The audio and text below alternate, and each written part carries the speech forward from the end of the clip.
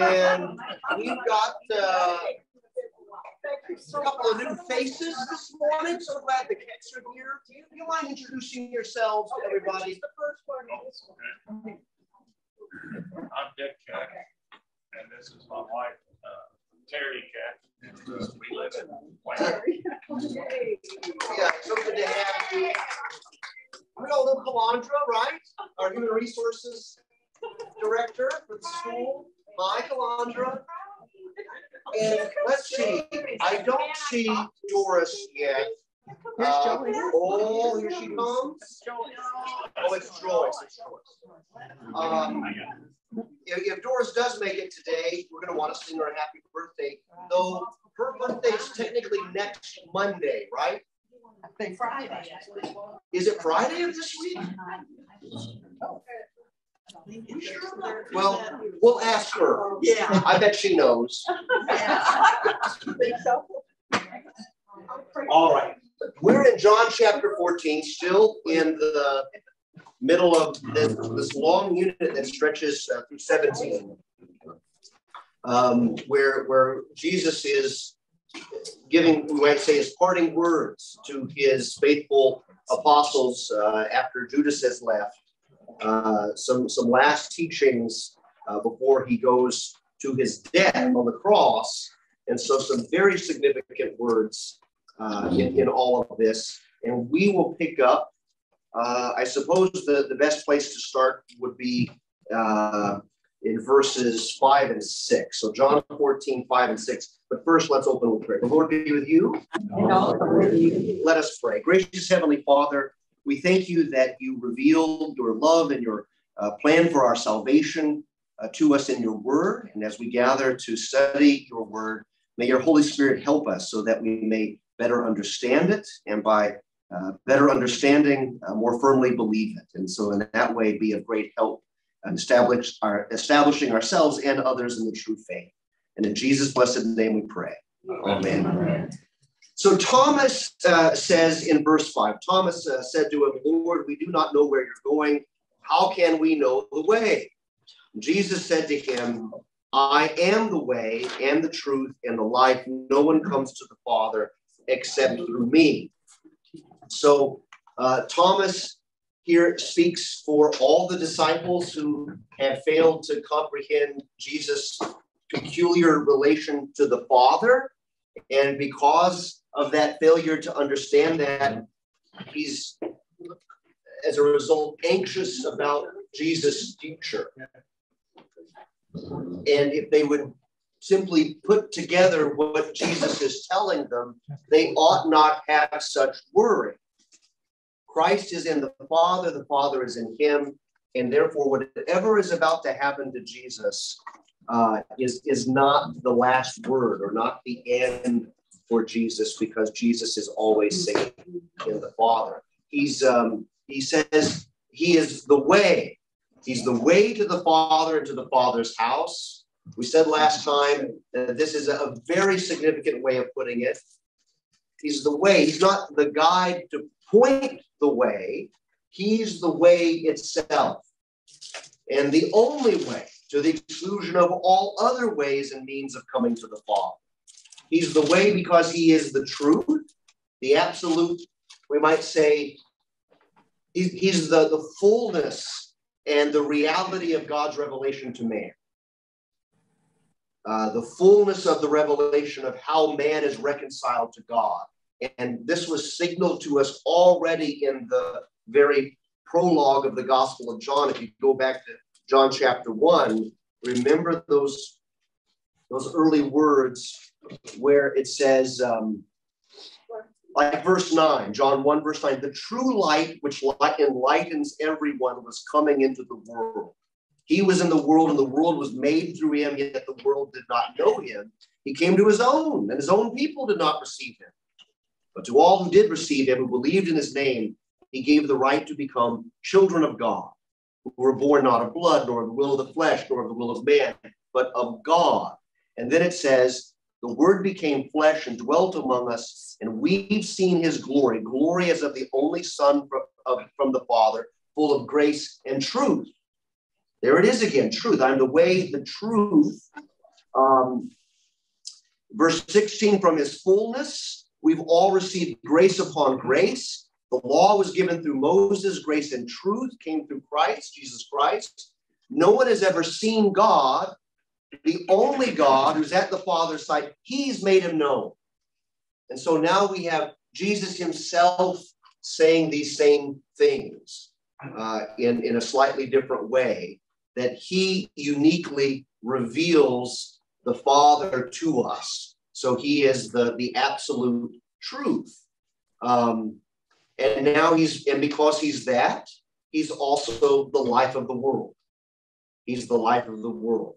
And so uh, now, as he's about to depart for his passionate death, uh, he knows his disciples need to be impressed with the fact that he is the life in such a way that everything that's going to happen in the next 24 hours does not change that.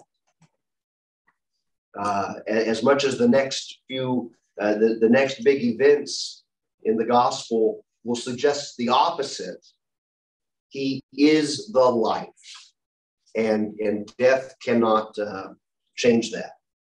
Um, so it's it's also important to recognize that these words are said in the context that they are said in.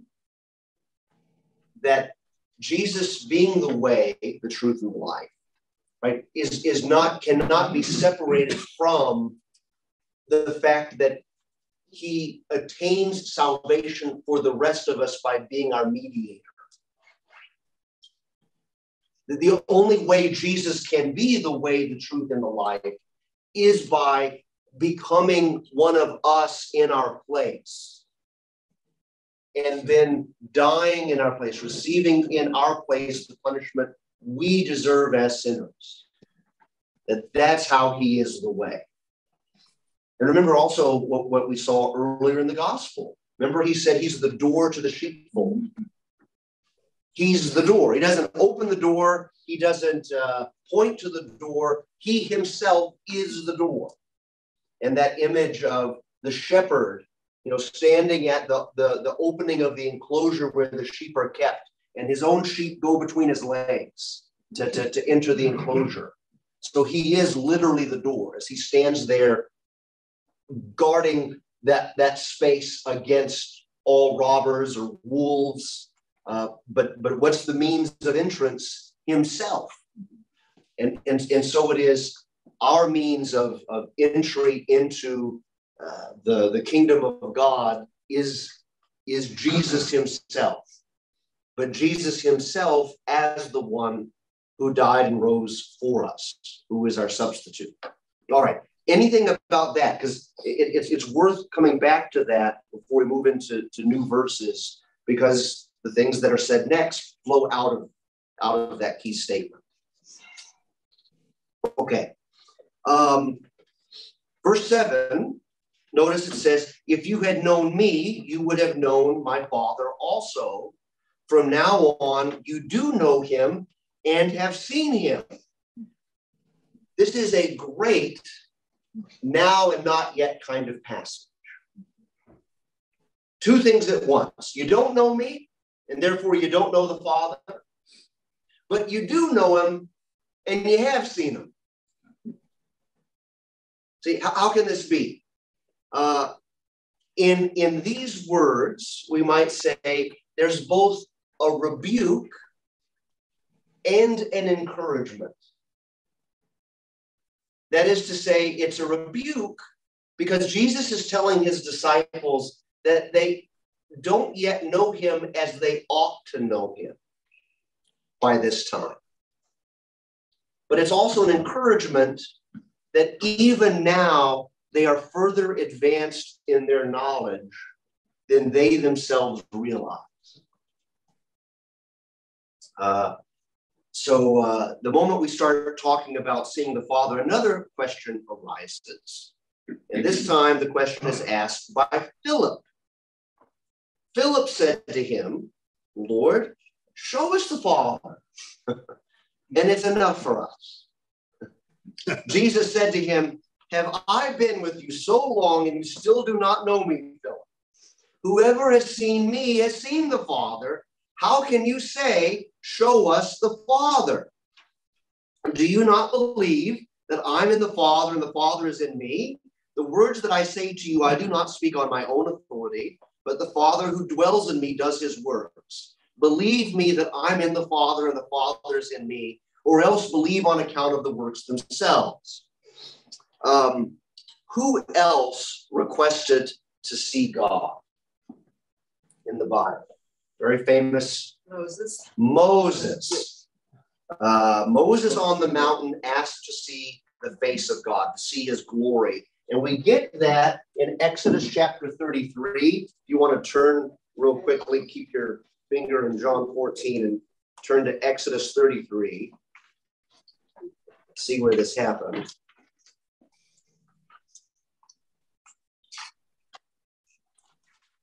And um,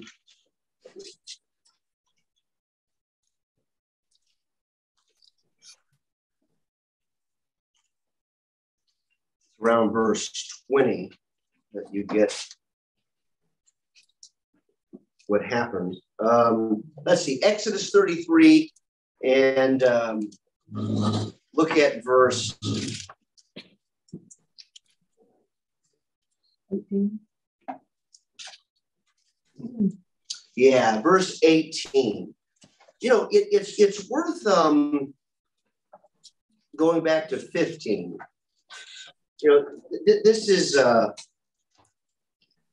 our memory verse this week in the school is "Lo, I'm with you always," and and I love that uh, as the the very last words of the Gospel of Matthew. In our faculty study earlier this week, we talked about how the fact that that the Gospel of Matthew begins and ends basically with this note of God being with us that that when the birth of Jesus is announced to, to Joseph, it's, it's, it's in Matthew's account that we get Joseph's side of the story. Joseph, who contemplates divorcing Mary, and, and the angel assuring him that uh, what is conceived in her is of the Holy Spirit, and that uh, this child will be uh, fulfillment of the prophecy in Isaiah that his name will be Emmanuel, which means God is with us. So, right off the bat, Matthew chapter 1. And then Matthew 28, very end of the gospel, you have Jesus' last words to his disciples, the last words of the whole book Lo, I'm with you always, even to the end of the age. So, the baby to be born is God with us. And here's that baby grown up, having died and risen and, and saying, I'm with you. I'm with you always. And, and, and notice here how, how important that has always been for God's people, because Moses has just finished saying in verse 15 that what, what God has basically said is, look, I'm going to see to it that, that you still make it to the promised land. You, you still get your enemies defeated, but, but I'm not going with you. You're, you're, you're on your own uh, I, I've had it. And what does Moses say? If your presence will not go with me, do not bring us up from here. He, he's got exactly the opposite attitude of us in most circumstances. Uh, so long as you give me the stuff I want, whether you're here or not is, is, is of no consequence. And Moses is saying, I'd rather you take the stuff away and stay. Don't let us beat our enemies. Don't give us the promised land, but don't leave us yourself. See, um, if your presence will not go with me, do not bring us up from here. For how shall it be known that I have found favor in your sight, I and your people? Is it not in your going with us, so that we are distinct, I and your people, from every, every other people that face of the earth? That's the most important thing God's presence, God being with us always. See? And, and that gets ultimately fulfilled through Christ. Christ makes it possible for God to be with us always. And the Lord said to Moses, This very thing that you've spoken, I will do, for you have found favor in my sight, and I know you by name. Moses said, Now he goes for broke. Well, I, I got that one. right? Uh, why, why not? Uh, go yeah, go for another. Yeah. What, what's the worst that can happen? Uh, please show me your glory. And he said, I will make all my goodness, this is God's answer to him, I'll make all my goodness pass before you and will proclaim before you my name, the Lord, and I'll be gracious to whom I'll be gracious and will show mercy on whom I'll show mercy. But, he said, you cannot see my face, for man shall not see me and live. And, and then the uh, account of being placed in the cleft of the rock. Behold, there's a place by me where you shall stand on the rock, and while my glory passes by, I'll put you in the cleft of the rock, and I'll cover you with my hand until I've passed by. Then I will take away my hand, and you shall see my back, but my face shall not be seen. So God hid him in the rock, rock of ages. God passed by, and Moses saw only his back. So, uh, as far as we know, that's the last time someone asked such a thing of God. So what Philip is asking is pretty audacious, given what we know God's answer was to Moses back in the day. Uh, Jesus has just said, now you know him and have seen him. Philip's immediate reply is, well, show us the Father. That's enough for us. So when Jesus says, now you do know him, what does he mean? Yeah. So to know him is to know whom? Jesus. Yeah. So Philip basically says, Show us the Father. And Jesus says, Here I am. Now they know him. And here's kind of the now and the not yet part. And, and this is one of the most fundamentally important points in all the teachings of the New Testament that there are these mm-hmm. two realities constantly simultaneously true that we already have the kingdom of God, and yet the kingdom of God hasn't yet come fully. The thing we have, we have it now, and yet there is more of it to come. The now and the not yet. They don't yet know and understand, and yet they do already.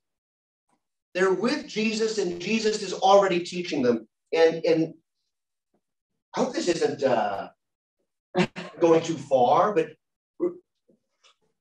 it, it's important to recognize that what are we as Christians? What, what, what does Jesus tell the apostles to make of all the nations? To make disciples. What's a disciple? Disciple of believers. Teach them. Yeah, Rose, you, you, you, you got the key word there. What is a disciple? What, what does the very word mean? Follower. Okay, we, we say follower, but it but it's literally student. Make students of all nations. I, I, greet my Latin class every every beginning of class. Salvete discipuli. I'm saying hello, students. That's what the word means. It's what it means in Latin. It's what it means. It's what it means in Greek. So to be a disciple is to be someone who is always learning. Discipline. And, and, and notice what, what, what makes them disciples. They're baptized and they're, they're taught. And so, so long as we are baptized and being taught, we're in. See? So, do we know everything yet? No. No. no. But we will because we're learning now. It, it, it's like that, that there's the now and the not yet. We, we, we want to reach that point where we graduate. Well, to, to, to do that, you got to stop breathing. I tried. Yeah, and, and that's up to God. I hope not, Joyce. That's up to God. That you are with you. He takes your breath away. You, you don't you don't try to give it up yourself. Uh, darn, darn, he's in control. Rats. Um, the uh, that's I think part of what Jesus is saying here is look, you are already in the position of learning from the one who alone can get you to the Father. So there's no better place to be in than the one you were already in. Yes, you don't fully see it. Yes, you don't fully experience it yet. But guess what? You already have it because you're with me. You're learning from me. Um, you know, so much of our life, right, is, is a matter of the next thing. Got to get to the next thing, the next thing. Uh, you're in school and you can't wait to get to the next grade or graduate and go to college, uh, you know, start the job. And uh, you're on the job and you, you can't wait for that, that vacation, right? Uh, then, then you, you, know, whatever it is, you can't wait to get married, can't wait to have a child, can't wait to retire, can't, uh, always the next thing. And here's Jesus saying, yeah, I know it feels incomplete. It feels like there's something yet to happen, and there is. But be content with the place you are now because you're in the safest place you could possibly be, in the position of being a student of me. You know, so, you know, do you ever feel like when you're in the classroom, right? Aha, this is it, learning, right? Uh, my, my teacher's gonna gonna lay on me a, a, new concept today, and then I'm soaking it in in the moment. No, we want to you know get on with it. Oh, here's uh here's the slow one asking a question we already know the answer to, or there's so and so showing off because he already knows this concept, right? That kind of thing. We're, we're, we're never content in the moment to just be soaking it up and receiving. And, and yet when you do grow up, trust me, you, you, you, miss those things, right? Boy, if only I could just spend all my days in the classroom learning. Um, no, no, I guess that's just me. I'm one of those, uh, right, uh, uh, perpetual students. but but that that's part of it. But but this now not yet applies in so many different ways and different aspects to, to, to the Christian life. It's, it's true on so many different levels. We are both righteous and sinful all at once. And the sinful self that's still there until the, the, the day God takes us to be with Himself, it, it must die by little stages, and the new creation grows by stages. And so the two intersect, right? Uh, just and, and, and at the same time. Here's, here's Jesus saying, when you've seen Jesus, you've seen the Father. This is so because who is Jesus? Remember what we said? Was it last week or the week before that the whole significance of him calling himself the Son of Man? Jesus refers to himself as the Son of Man.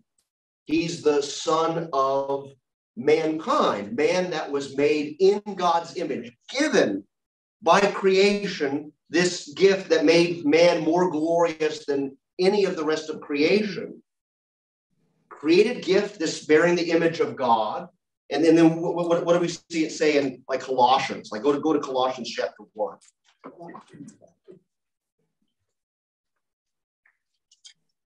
So Galatians, Ephesians, Philippians, Colossians. Colossians 1 and verse 15. Uh, we'll, we'll, back into it. Let, us let's, let's start at verse uh, 12. Uh, giving thanks to the Father who has qualified you to share in the inheritance of the saints in light. He has delivered us from the domain of darkness and transferred us to the kingdom of his beloved Son, filled in him. No, no. Is that right? In whom we have redemption, the forgiveness of sins. He is the image of the invisible God, the firstborn of all creation. Do you hear that? He is the image of God, of the invisible God, the firstborn of all creation. So he is literally the image of God, the icon of the invisible God. And it's not that he was created in God's image, he is by nature God's image. Jesus is that image in himself. He's greater than Adam in that respect. And therefore, when you see Jesus, you see God. Uh, the benediction at the end of the service the Lord bless you and keep you. The Lord make his face shine upon you and be gracious to you. The Lord lift up his countenance upon you and give you peace. We had that as the Old Testament reading about three Sundays ago. And it, it's, it's very striking. If you go back to, to the original, this is Numbers chapter 6. See what we're to, to, to tie a bow on the, the Son of Man point. See, God, Jesus, who is the image of God Himself, becomes flesh, becomes a member of the human race. How did man start out? Glorious, made in God's image. But what happened? He sinned, and that sin led to death, death and no glory. And now God enters the human race, son of man, son of mankind, anthropos, man in, in the sense of, of man and woman, human beings. He picks up where fallen man left off, begins in sin and death, takes on our sin and dies, but then rises without sin and lives forever in glory. So we have glory to death, we have Jesus picking up from there and going from death to glory as the Son of Man. And, and remember, I pointed out that Son of Man is always used in reference to himself in those two contexts. The Son of Man will be handed over to sinners, crucified. See, so Son of Man is, is his way of talking about his suffering and death, but then it's also his way of talking about coming in glory with the angels on the last day so that this is the thing that makes Caiaphas tear his robes. Tell us plainly, are you the Christ? I tell you that you will see the Son of Man coming in glory on clouds with the angels. And what does Caiaphas do? He tears his robes. Because what does he just claim for himself? Divinity. How can this be? Is Son of Man a way of talking about his suffering and death, or Son of Man a way of talking about his, his ruling and glory? It's both. The two go together. He gets to glory by way of suffering and death. You follow that? And so, likewise, look at this the, the, the, the Trinity, this blessing from uh, Numbers chapter 6. And um, let's see, verse 24. Verse 24. The Lord bless you and keep you. The Lord make his face to shine upon you and be gracious to you. The Lord lift up his countenance upon you and give you peace. Now think about it. You got three lords there, right? The Lord bless you and keep you. God the Father is the source of all blessing. The Lord makes his face shine on you and is gracious toward you. Jesus reveals the face of the invisible God, for his face to shine on you and to be gracious to you means you have through this Lord access to the Father. And then the, the third mention of Lord, the Lord lift up his countenance upon you and give you peace. This will be made even clearer in, in the next several chapters of John uh, when Jesus moves to talk about the sending of the Holy Spirit. But what's the Holy Spirit's main role? To create faith, to bring people to Christ to put his words, Jesus' words in our hearts that we might believe in him as the Savior, the one sent by the Father. So, what's the Holy Spirit, in a sense, always doing? He's always shining Jesus' face on us. The Lord lift up his countenance upon you and give you peace. That's what the Holy Spirit does. He lifts up Jesus' countenance upon us and thereby gives us peace. So from the beginning, the Aaronic benediction, the, the words of blessing that were given to the high priest Aaron, were a Trinitarian blessing that had at their center Jesus himself. Pretty cool, huh? All right. Um, so um, Jesus is the face of God. Jesus is the, and, and the Holy Spirit lifts up the face of God and, and thereby gives us peace so that when we see Jesus, we've seen the Father. Uh, we always come to worship and begin how? In the name of in the name of the Father and the Son and the and the Holy Spirit. And then we hear the words of Jesus. Um, long-standing custom in the church, uh, still observed by us. Uh, now, it's probably an even older custom to stand for all of the readings, right?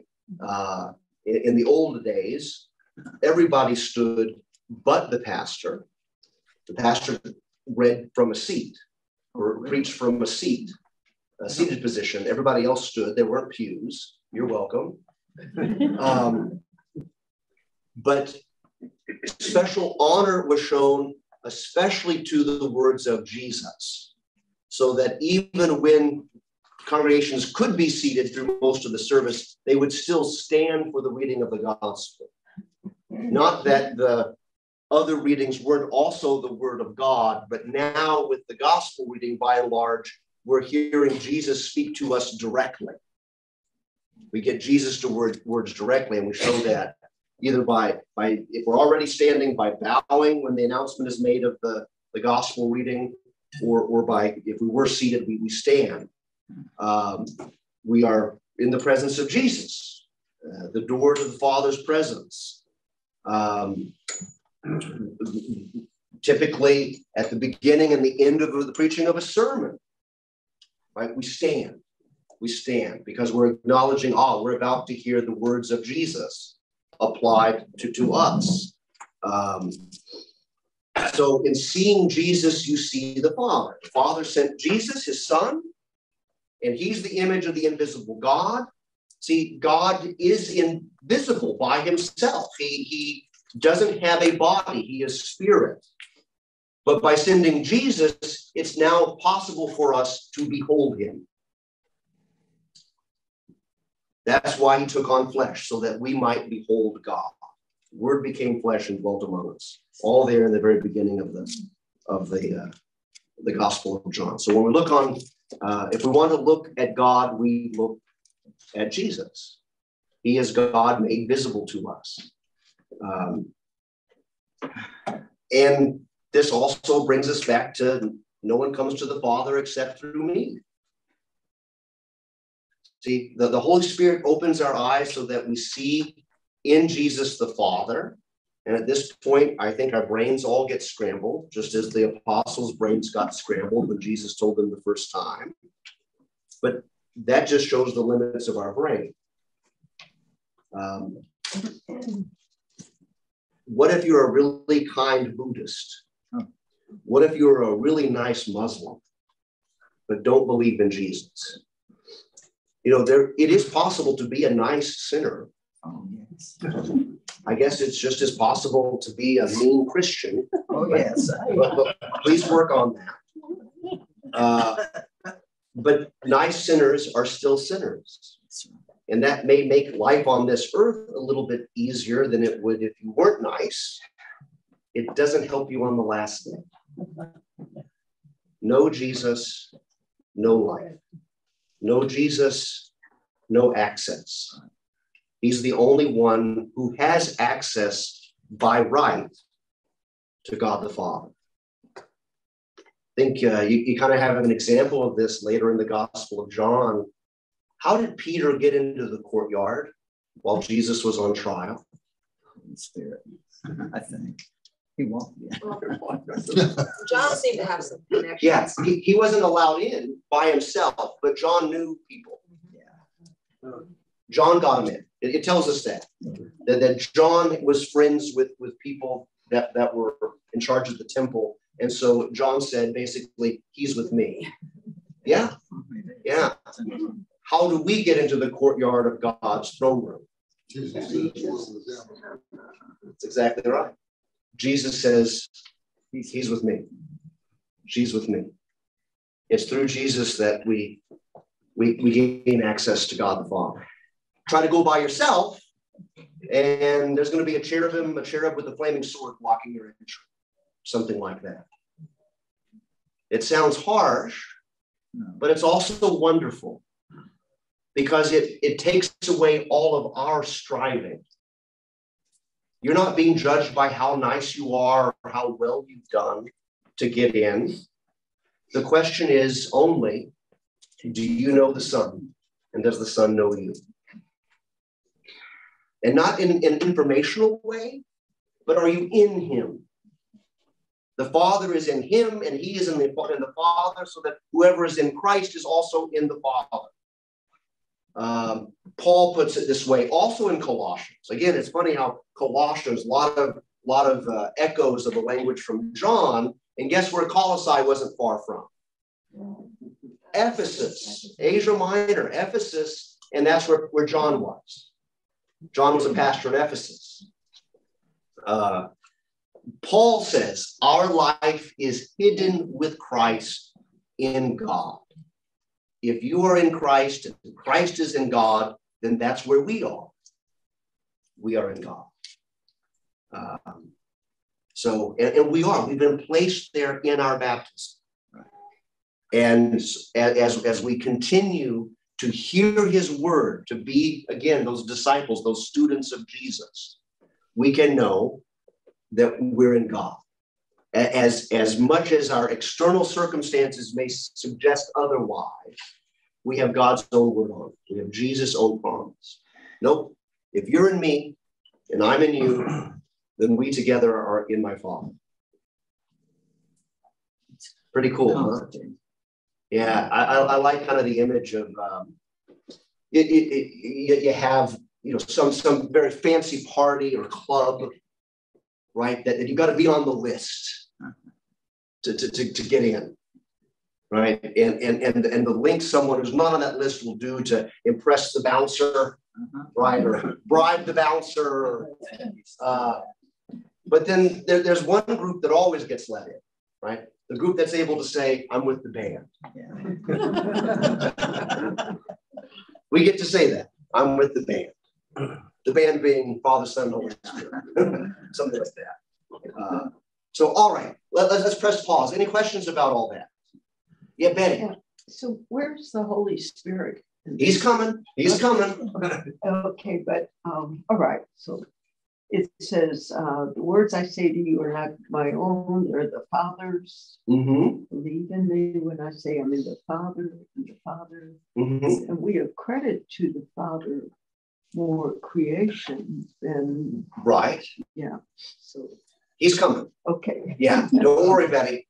Holy Spirit's going to be talked about quite a bit in just a matter of a few verses. Right. Several, several weeks ago, you suggested that we read I forget what 13 through yeah exactly Yeah. and to the end of 17 when, yeah. when you read it all as a single setting yeah. what it says is the trinity. Oh that's so good. Yeah yeah yeah. When you read the whole thing my goodness you, you can't escape the reality of the trinity. Right.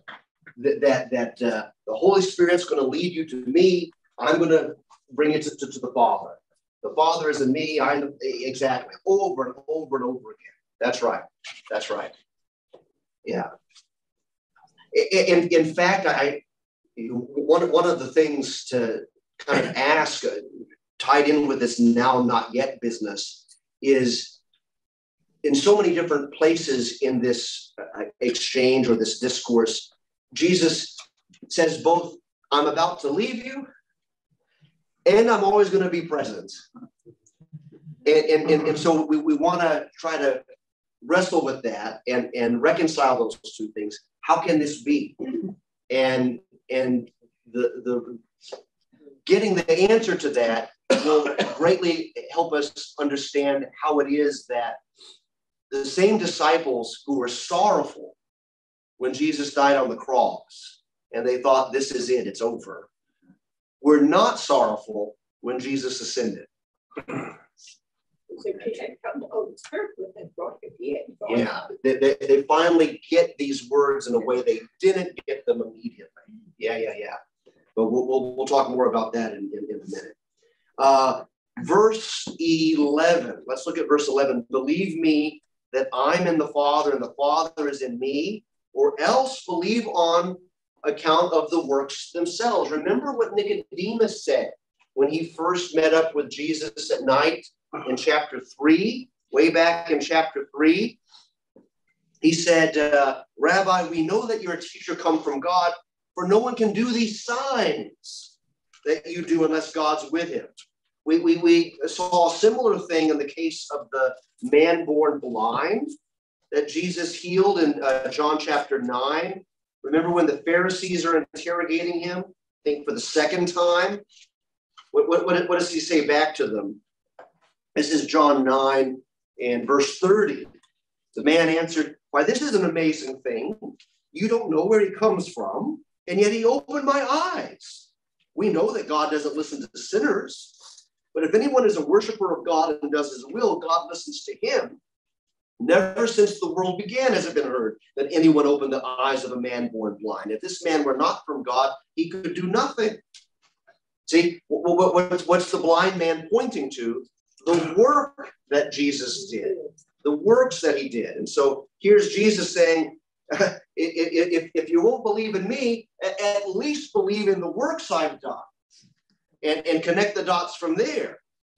Um, so he, he uh, let's see, with 11, okay, 11 in, in my Bible, we, we move into 12, 13, and 14 before the next heading. Uh, but but I, I, know some Bibles might even put another head. Do you have a heading before verse 12 in your Bibles? No verse 15. Okay, before, yeah, it's, it's before verse 15 in mine as well. Sometimes they'll, they'll put a, a heading before verse 12 and, and separate it out. I, I can't impress upon you enough the importance of ignoring the headings. Because because the, the headings break up the text in a way the text wasn't originally broken up. All of this kind of flows together.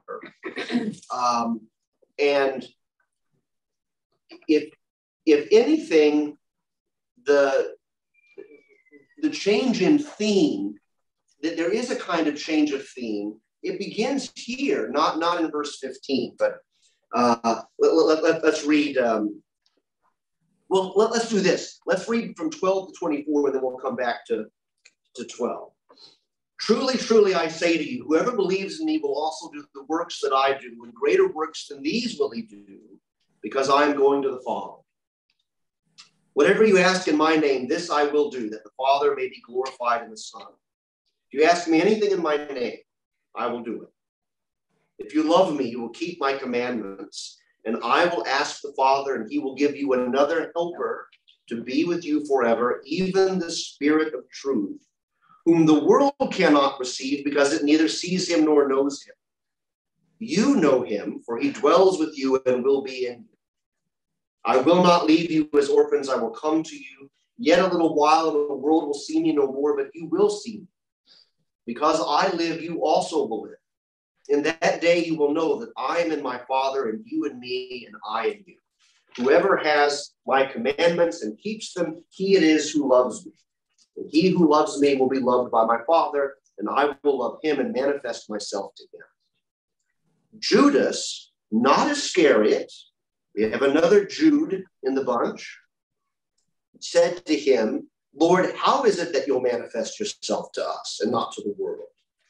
Jesus answered him, If anyone loves me, he will keep my word, and my Father will love him. And we will come to him and make our home with him. Whoever does not love me does not keep my words. And the word that you hear is not mine, but the Father's who sent me. All right. So going back to, to verse 12. Truly, truly, I say to you, whoever believes in me will also do the works that I do. Greater works than these will he do because I'm going to the Father. What an extravagant promise. They will do greater things than these because Jesus says, I'm going to the Father.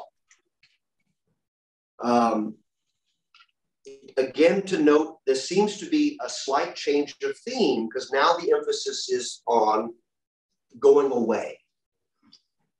Right? He's going away, and yet he won't be gone. Uh, it, it's like the old phrase, having your cake and eating it. Uh, he's going away, and yet he speaks of himself as present to, to try to make sense of that. So, what's Jesus talking about when he says, Greater works than these you will do? I mean, he turned water into wine. He uh, fed the 5,000. He healed the man born blind. what greater things could the apostles possibly do than these? It's got to be the Great Commission. Yeah. Bringing the Gentiles in. Yeah, you, you know, you, you'll hear people say, if, if only Jesus were present with us in the way he was during his earthly ministry, it'd be so much easier to believe in him. And yet we find over and over again in the Gospels how his being right there in front of them in a visible way seemed to hinder more than it helped. Uh, and, and, and moreover, he, he did all these things in a rather short amount of time and in a very limited space. You know, just in that region of Galilee and, and, and, and Judea. Um, so, but Jesus now, because he's going to the Father, he says, the apostles will do things far greater. And, and, and as, as, as Carolyn said, we've got at the end of Matthew, go and make disciples of all nations baptizing them in the name of the Father and the Son of the Holy Spirit, and teaching them to observe all that I've commanded you. So Jesus has, has done these signs and wonders, and a, a few people have believed in him, sort of. right? That's what we keep running into in the Gospel of John, especially. That those who are described as believers still don't get everything, right? But because he's gone to the Father, the disciples are going to do greater works than these. They are going to bring people to a, a, a deeper faith than, than those who knew Jesus in his earthly ministry did. And, and, and much more than Jesus was able during his earthly ministry to bring to, to faith. Uh, that, that uh, I think, is how that gets fulfilled, that promise.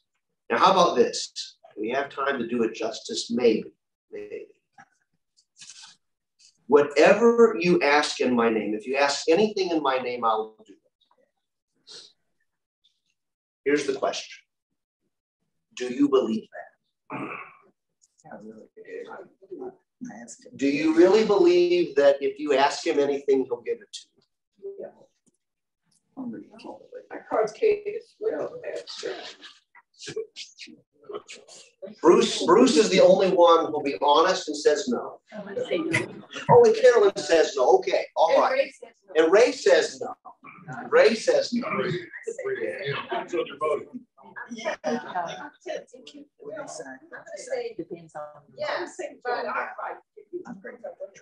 Yeah, what, what, what's the key here?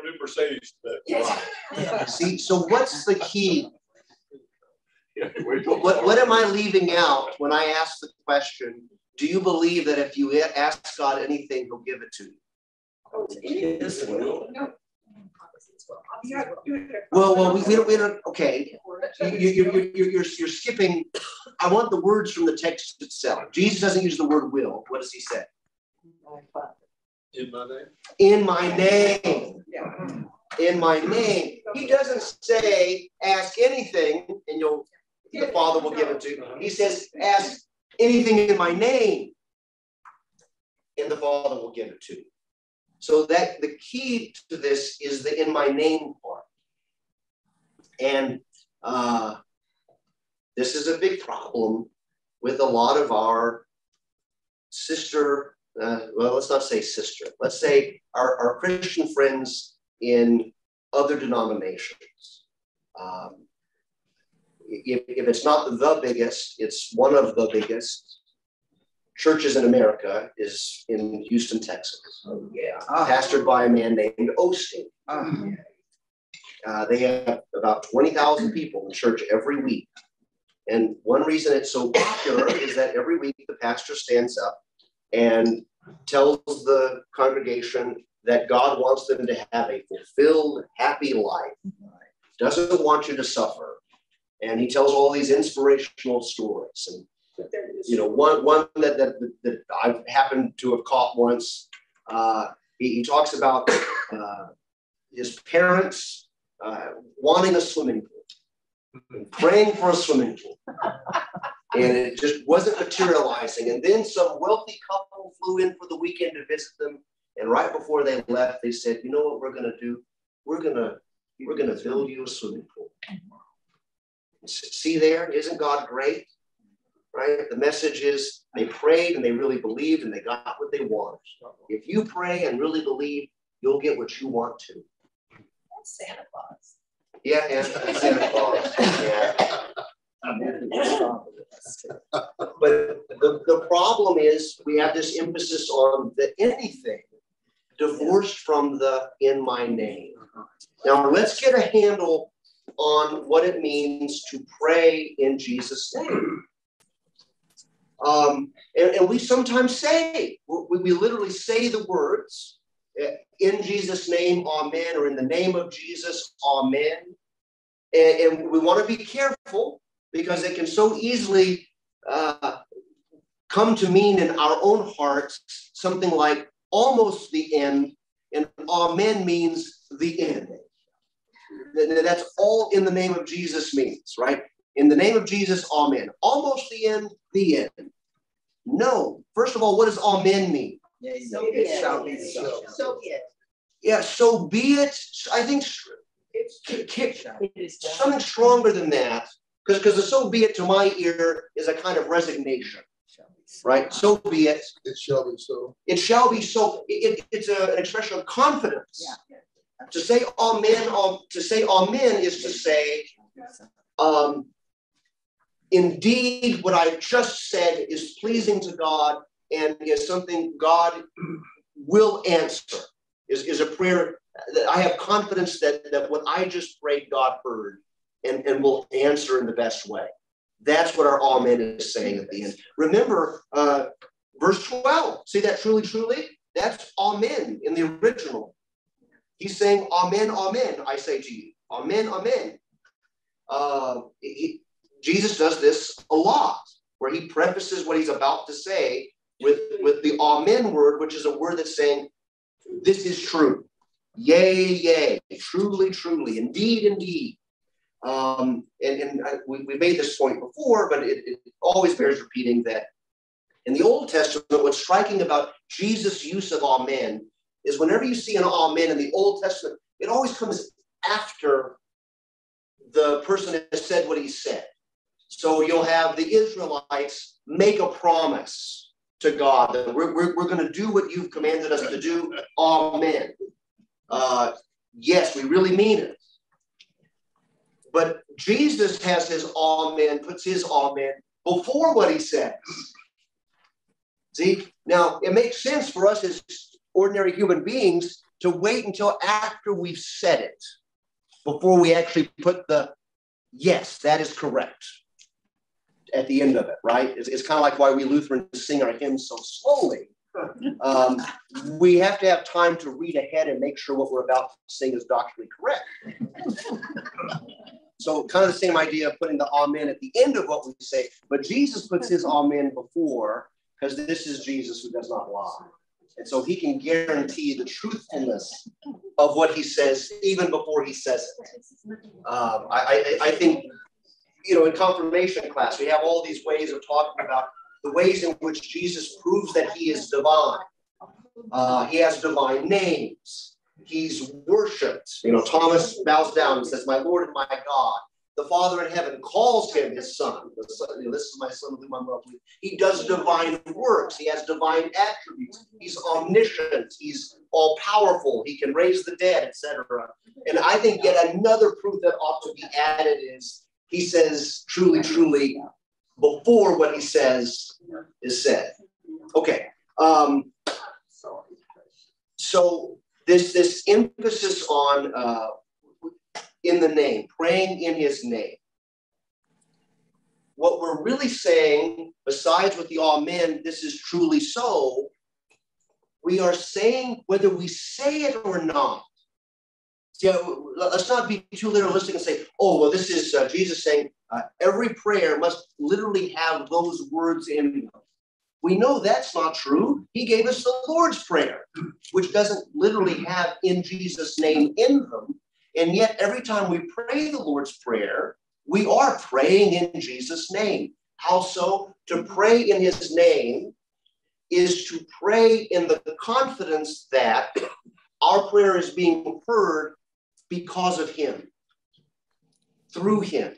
So, you know, to take a phrase I guess I don't think anyone uses anymore, but in the old days, at least in the old westerns, right, the sheriff would come up and say, Stop in the name of the law. Okay?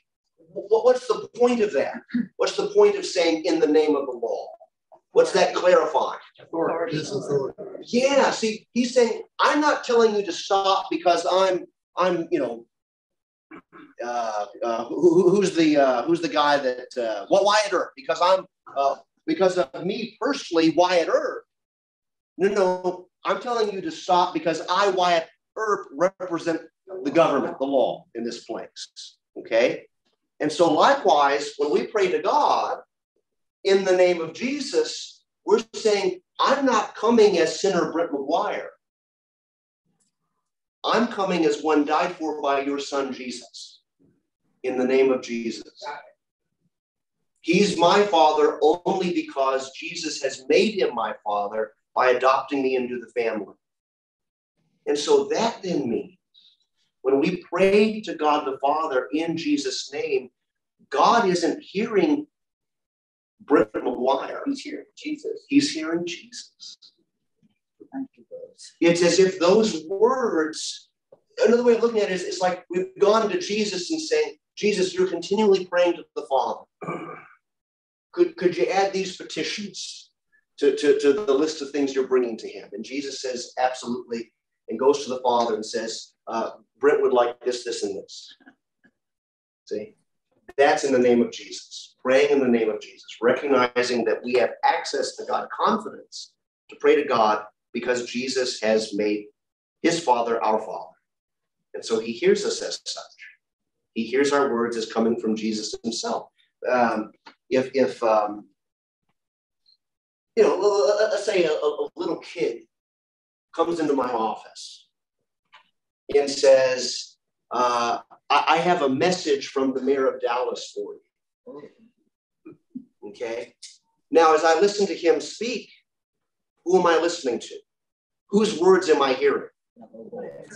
I'm hearing the mayor's Oh, words. really? You trust that?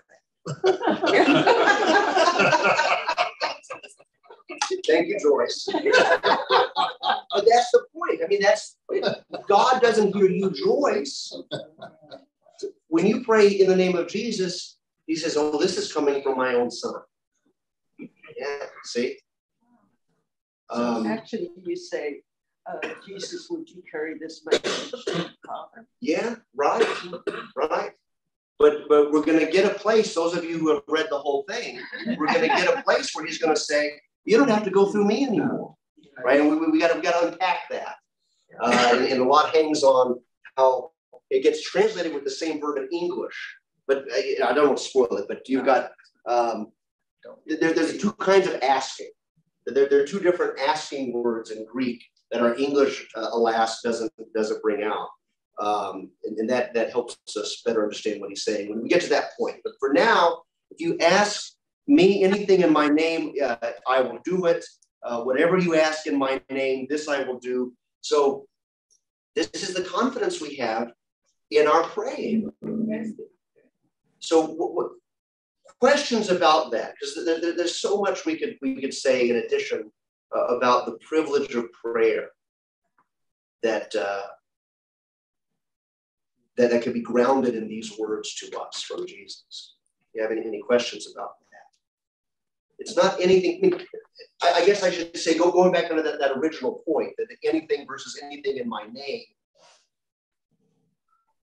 When, when we, the, the, the primary meaning of, of that in my name is, is just what we said that Christ uniquely gives us access to the Father so that when we ask Him for things, we're asking in the confidence that that prayer is heard for His sake, for Jesus' sake.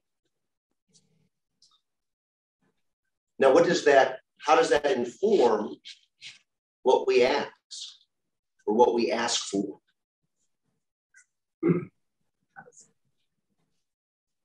Knowing that, knowing that, what kinds of things do we then ask for? Bruce wants a Mercedes. right? I remember that. So do do we do, do, do, do, do we go to, to, to the Father in the confidence that when I ask for a Mercedes, I'm going to get it?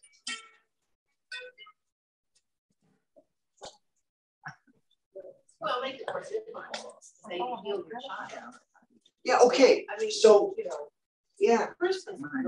See, as as we are as we are in Christ, as we are in Christ, knowing Christ to be our gracious, loving Savior, knowing the Father to be gracious toward us on His account. When you see Jesus, you see the Father. We therefore know that the things we pray for may not be the best things for us but we trust the love and the wisdom of the one to whom we pray to give us what's even better than what we ask. So that the, the in Jesus' name or the thy will be done, that is in the Lord's Prayer that, that we often will say in our own prayers. This is not a, a get out clause for God. This is not a uh, dear God, give me that, that give me a Mercedes, but thy will be done as if we're saying, you know, if some pagan is looking in and he doesn't give me that Mercedes, I, I want to remind that pagan that I did say his will be done. And so, you know, sometimes God's like this and doesn't give me what I want, and, and that's okay. I, I gave him that out. I, I gave him that out. No, thy will be done is is a saying that this is as far as humanly speaking, I can tell is a good thing to ask for. But you know better. You know that if this thing that I ask for is not the best for me, then give me that better thing. That's what the thy will be done is about. It's confidence in him knowing even better than I do what I need for my eternal good. And it may not be the Mercedes. It may not turn out to be a Mercedes. They're not that. You see, Joyce says they're not that good. Terrible service record. Oh. But That's the right. other thing is, we never know the time restraints either. Exactly. I mean, it may not be next week, it may be two years from now. Yeah, that's exactly right. That's that's right. And and and we can also say this. I I, I know um, from a circuit meeting so many months ago, Pastor was talking about how the prayer chain in his church was praying for a woman who who had, been diagnosed with a very late stage cancer. And the prayer, prayer chain gathers together and they're praying. And maybe after about five minutes, you know, one of the ladies in the group says, You know, I think we're praying for the wrong thing. Oh.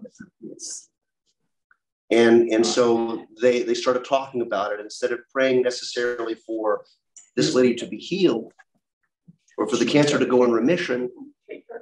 Let's pray that her faith be kept strong till the end. And, and lo and behold, this, this particular woman did die within about a week of that prayer chain. Do you see? So the, the, the anything in my name, and, and as we pray, in the practice of prayer, and being grounded in God's word and knowing the kinds of things that God wants us to ask of him, will lead us to, to decisions like that where it's not always in the best interest of the person or that for that and, and god knows in a way we don't obviously what's most important for this person's eternal well-being. And it may not be that this person be healed at this this particular time right? It may be better that she go home now to be with him in heaven that that kind of thing and so praying in his name and, and where, do we look to know what kinds of things we should ask for in our prayers yeah, and, and, and there, there's a specific word, a specific answer to that question that Jesus gave his disciples. What is it? What does the catechism use to teach us? The Lord's Prayer. The Lord's Prayer is, is, is a whole list of the kinds of things that God is most pleased to, for his, his children to ask of him. And six sevenths of it are spiritual things. And one seventh is daily bread, all the things we need to support this body and life. So it's not wrong to ask for material, physical things, health, even the car. uh, but let's never forget that Jesus prayed a prayer, the answer to which was no. Take this cup from me. Because his father and his infinite wisdom knew best that a greater good would come out of his drinking the cup, bearing the wrath of God against sin on the cross, than him being spared that. So, okay, all right, we've gone over by a little bit. I apologize. We'll pick up uh, from there uh, next time. Glad you could all be here. Let's close in prayer. Lord God, Heavenly Father, we thank you for the wonderful uh, privilege you give us of being able to take to you uh, any and all of our needs, our petitions, also our, our uh, praise and thanksgiving, uh, knowing that you hear our words for Jesus' sake, and that we can have that confidence that you, as our Father, uh, hear us as your dear children through your Son, Jesus. Uh, help us grow in the practice of prayer and trusting in your promises that you attach to our prayers to you, that we may be all the bolder and are coming to your throne and asking you for all that we need, uh, knowing that you will give it to us. In Jesus' name, amen.